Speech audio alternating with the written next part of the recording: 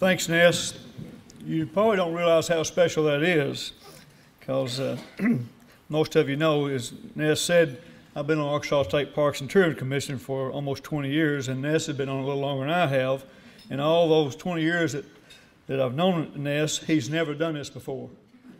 so it's kind of special. And as I said, I've served on the commission for 20 years, and Ness and Carolyn and Gail and I have become really close friends, and I appreciate them very much. Rich, I appreciate you. And Beth, thank goodness, she just sends me notes, and I said, just keep, keep sending me notes. I'll listen well. I, am used to it. But our Parks and Tourism, our Parks and Tourism Commission is it's been an honor, as Ness can tell you too, that that uh, that we travel around the state, meet once a month, a couple of days a month. We have opportunity to visit different places, and that's an opportunity that I wouldn't have had if I hadn't been on the commission.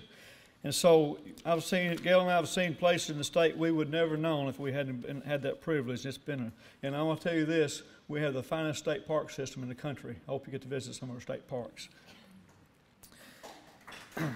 we, you know, when I looking around this room, I didn't get a chance to visit very many people before the breakfast, but looking around this room, I have a lot of friends in this room, a lot of customers, and I, I appreciate that. Uh, I can't recognize. I go around the room and talk about a lot of people in this room. I'll tell you that. But we do have some, of course, some people. I was raised in Paragould and uh, and moved to Rector in 1972 after graduating from ASU. But I especially want to say something about the friends I've got from Rector that's here this morning. Shirley and Barbara Hamilton, strong supporters of ASU, are here this morning. Bill and Marlo Carter from Nashville, Tennessee. Bill was raised in Rector, good friends, and and is, most of you probably know this. Bill's responsible for the Johnny Cash concert we've had and raising money for the for the home place of Johnny Cash. Uh, Stephen Lark Sigsby are here, good friends and supporters. Neil Krausen, Neil's from Rector, him and Pam both, and they're here this morning. One more couple, and I've got a lot of people, like, like I said, I, I, don't want to miss anybody, but Dr. Asa Crow and Wanda from Paragould, been family friends for a long time, and uh, I appreciate them very much. I have some very special people here with us this morning that are very special in my life, and that's my family. I'm very proud of.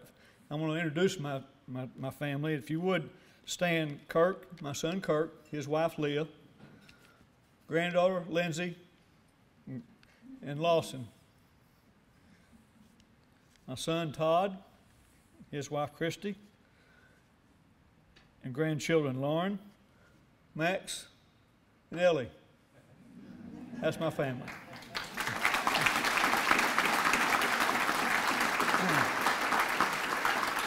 the people that know us know that uh, we're a very close family, and we all we all live in Rector. Kirk and Todd are both involved in the leaderships. and they have a game today, but the boys, they coach the sixth grade football team Max plays on, so they're going to have to leave. Apologize that after this. But anyway, they're playing the Rector playing Truman at about 11:30, so they have a game this this uh, morning. After graduating from ASU in '72, I put my degree right to work. I went to work for my late father-in-law, Glenn Sane, at the GMC dealership in Rector. I washed cars for about two years. And guess what? Kirk and Todd had washed a lot of cars while they've been growing up. Mr. Sane had some health problems in 1983 and he had to retire. That's when he came in one day and after that, and, and, and when he learned he'd had some health issues, and he came in and he said, Danny, you need to go to the bank and start uh, working on getting a loan to buy the dealership. And Gail and I were 33 years old and scared to death. After closing the loan on a Friday afternoon, I told Gail, I said, the best I can tell Gail, we have to make $127 a day to make the payment.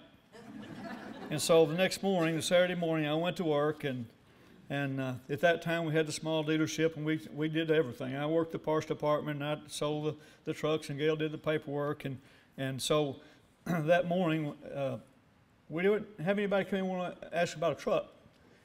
But anyway, somebody come in and bought a few spark plugs, a few parts, and I got a little concerned. So about 10:30, I got a phone call from a man from Caraway, Arkansas. He said, "I need a rear end parts for 1976 GMC. I need." I said, "Sir, what do you need?" He said, "I need it all. I need rear end housing, axles, ring gear, and pinion." And I, at that time, I, t- I said, "We got it all. We have it all, sir." He said, "How long are you going to be open?" I said, "Just as long as you need me to be." so after he left about 1:30, I called Gail and said, "Gail, we made our payment."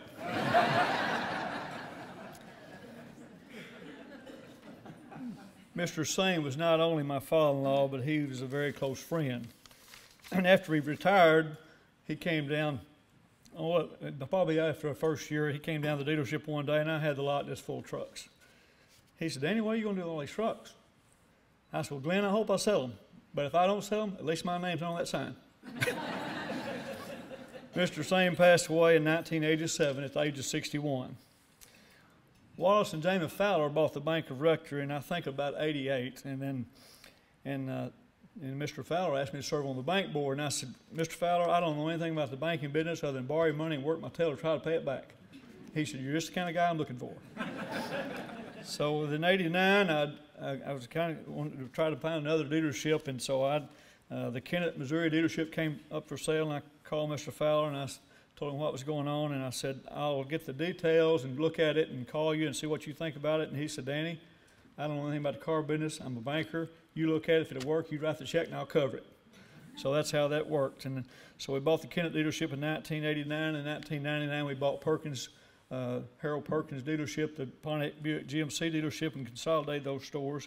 2005, the Ford dealership, Pinnell Ford in Paragould. In 2007, Horner Motor Company, the the Buick uh, Cadillac GMC store. Then 2010, Tom Kirk Chevrolet, and we consolidated those, those stores. We've been very blessed and fortunate to accomplish what we have.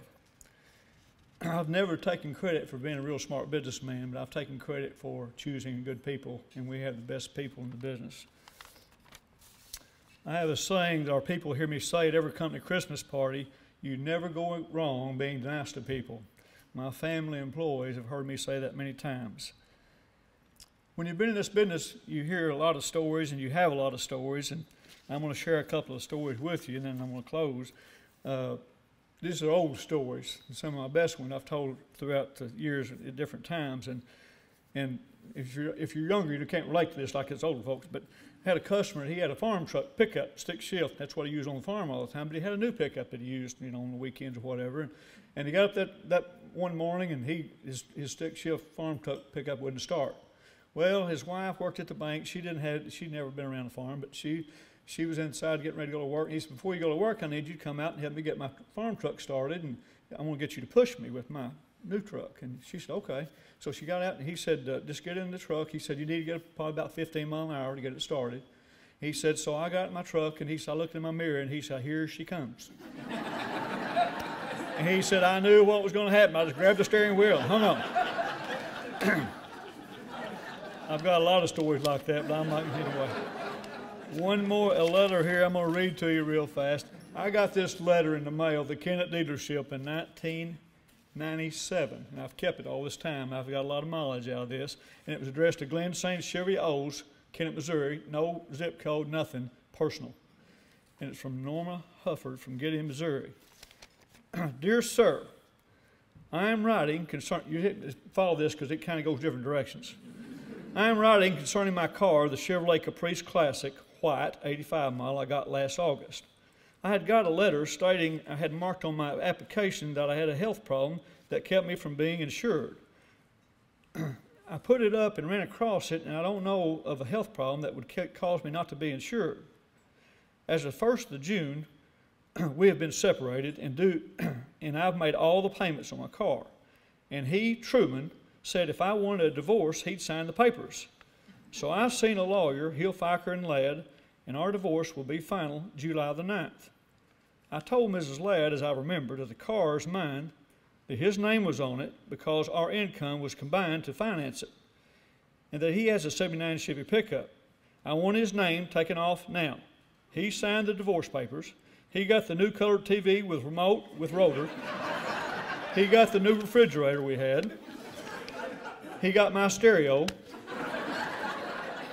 I got my bed and Chester drawers and personal things. He got my ceiling fan I bought when we separated before. I don't want no ugly argument. I just want his name, Truman Huffer's name, off of this car. I will continue as I have to make payments. Would you let me know by return mail I don't have a phone? Sincerely, Norma Hufford. uh,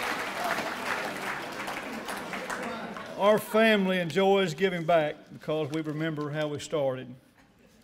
we picked cotton, or I did back when I was younger. And Daryl, I know, I don't know about Roy, but Daryl was raised in the, in, in the same area. We had the split term. We picked cotton to help buy our school clothes and things like that.